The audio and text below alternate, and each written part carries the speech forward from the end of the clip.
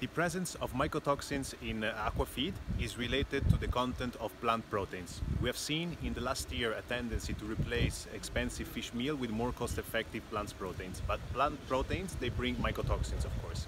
And if we have a look at the, uh, the BIOMIN survey results from the first quarter of 2019, where we analyzed uh, the most common commodities used for aquafeed, we have seen a great prevalence of Fusarium mycotoxins like zearalenone, fumonisins and deoxynivalenol, which were the most prevalent mycotoxins.